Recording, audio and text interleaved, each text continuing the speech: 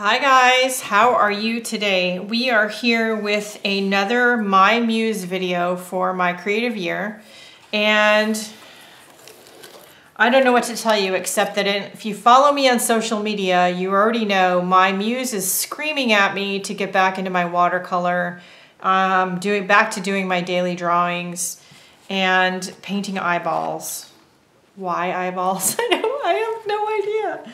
I don't know. Um, but again, if you've been following me on social media, you've seen this little um, journal. Um, it's a Pentalic watercolor journal. And I started painting eyeballs, like literally, I wasn't kidding, eyeballs. Um, what I first did was I started collecting eyeballs from friends and family. I have pictures of eyeballs, not the actual eyeball.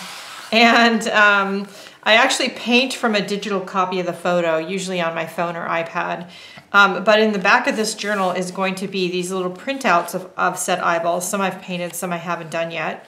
And on the back, it actually says the person's name whose eyeball this happens to be.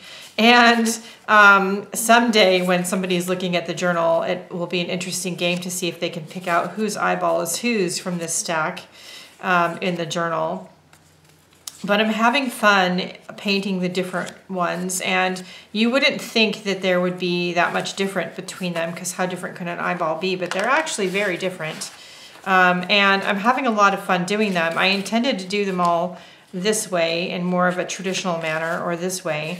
Um, but then as I was started working in the journal I was reminded by some social media posts of an artist Debbie Weir and she does these sort of doodly, um, semi-abstracted faces and things, and I love her work.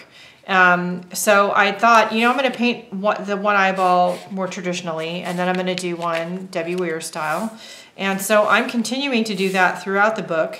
I do the one person traditionally, and then I do their eyeball crazy, traditional, crazy, traditional, crazy. So I am up to this one that I did. So tonight, later tonight, I've got to paint her crazy. Um, so it's fun focusing on a particular thing, whether it's a body part like eyeballs um, or it's um, flowers or limiting your focus or limiting your materials and then seeing what you can do with that that's a lot of fun and I find it challenging, I find it interesting, and definitely my muse is screaming at me to keep doing that for a while, so I'm going to. Um, I have this small journal with a couple clips to keep it open, and then my art toolkit um, watercolor kit, which is normally in my travel art case.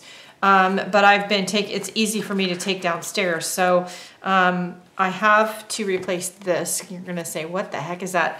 It's a piece of a Mr. Clean Magic Eraser.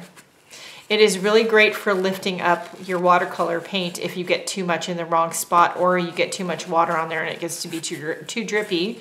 Um, so um, that is a really good thing to use. And though there will be, I've been asked about eyeball tutorials. We will be doing that um, I think later in the month. I'm not going to do it for the My Muse video because it'd be too long of a video, but um, definitely I think that we'll be doing that. But if you already are playing with watercolors and you have a Mr. Clean Magic Eraser in your stash, cut a little piece off and practice lifting your paint up with it because it really does work really well. So I usually have a piece in my case. We've got to replace it because this one's past it.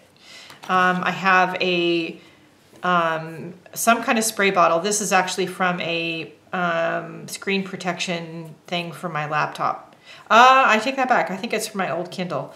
Um, but it's the same size as the Mini Mister by um, Ranger, so that would work too. I always have a piece of paper, while I'm at least doing the eyeballs, a piece of test paper to test the paint colors on when I'm mixing them in the watercolor palette.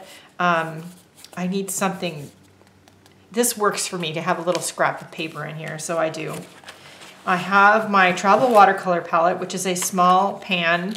Um, and I've taken the insert out that's supposed to fit the watercolor pans so that I can get more colors in here.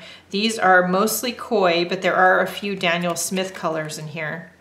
Um, yeah, that's the only two brands that are in here, Koi and Daniel Smith. And this actually, this this um, selection of colors works really well for me, not only for the eyeballs, but when I'm traveling. This is a selection of colors that I work uh, that I use that work for me really well. There is a Tiny Travel Winsor Newton paintbrush here. I don't use it that often, but when I am working and I need a small, something with a small tip, this is actually a really great brush. Oops. I do not have my reading glasses on. So that just fits right there. And there's a sponge there I can wipe the brushes off on. Mostly it's just filler to hold things in place. You could use any bag for this. I happen to have this art toolkit bag, but there's a lot of bags out there. Um, I have um, a couple different black pens, one that's water soluble, one that's not. This is a Sharpie pen. This is a Pilot Varsity um, fountain pen in black, a black paint pen, a white Uniball Signo pen. Actually, a couple of small brushes that don't need to be in here because I haven't been using them, so we're gonna actually take those out. There is a ruler for a straight edge, a couple of extra binder clips, and a piece of a gift card um, to scratch in the paint. And these mini binder clips I really just use to hold that in place. Um, underneath here, I have um, a rag, some wax paper, um, this, if you have to close your book and things are still wet, this would come in handy. A kneadable eraser to erase a pencil, should I decide to do that, which I don't often. This is an extra piece of wax paper. Um, a piece of plastic wrap. Now, um, one of the techniques that you can do in um, watercolor that we'll discuss at a later date, but and I've shown before is when your watercolor paint is wet and really juicy, scrunch up a piece of plastic wrap in and stick it onto the page and push it, push it down, wrinkles and all, and let it dry. Just let it dry naturally. When it is dry, pull this off and it's gonna leave an interesting pattern in your paint. I also have some salt for the same reason. While the paint is wet, you can drop the salt in there and just let it dry naturally. And when it's done, shake the salt off, rub the salt off, and it'll leave an interesting pattern. Um, and then of course the kneadable eraser in case I wanna erase something. Um, pencil sharpener, a couple of koi water brushes. I love these. They're easy, they're portable. This is the larger one, which is, I believe, 8.8 uh, ounce. And the smaller one, I think, is 0.4. Um, I have a uh, large brush tip and a fine, and the fine here, I believe. Yeah, large and fine, I believe.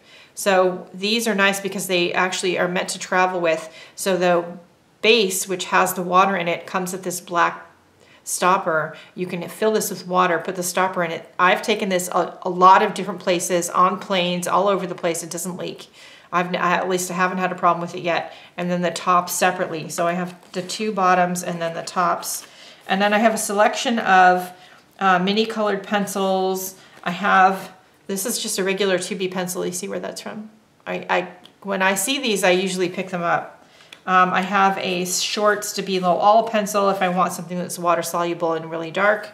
I have a white crayon if I, before I start painting, I want to leave an area that's white um, and I don't want to, you know, get paint there. I'll put some crayon on that and this will keep it uh, from getting water uh, paint on that section of the paper.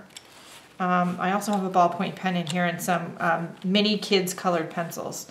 So my muse has been screaming at me. She really wants me to keep up with the watercoloring to use limited supplies right now. So that's what we're gonna do.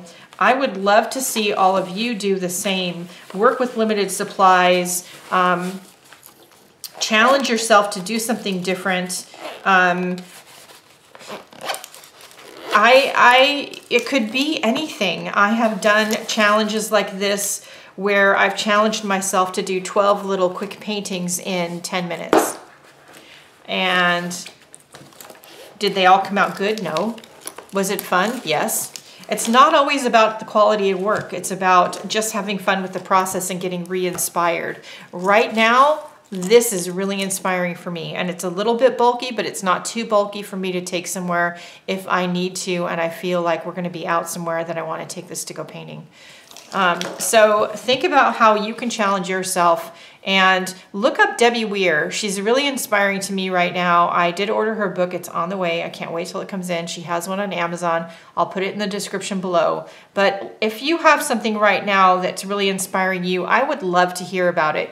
So either leave something in the comments below, or if you're a member of the My Creative Year Facebook group, we would sure love to hear about it over there. So please share. Um, let's keep the group over in the face in Facebook. Um, a kind, group. That's what we're all about, sharing freely and being supportive. So let's keep it that way. And um, yeah, let's share what our muses are saying right now.